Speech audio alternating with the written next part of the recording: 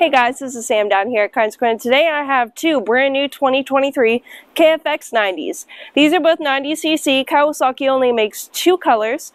For the 2023 models, you can see on the front here that they do come with LED headlights on both models. Um, not much of a difference. There is white on around the KFX. Electric start, um, they do only go forward but you can pick them up and move them around if you want to. There's no reverse on these units, um, but we do have these units in stock right now, so come down to Carns Equipment, give us a call, and take home these units today.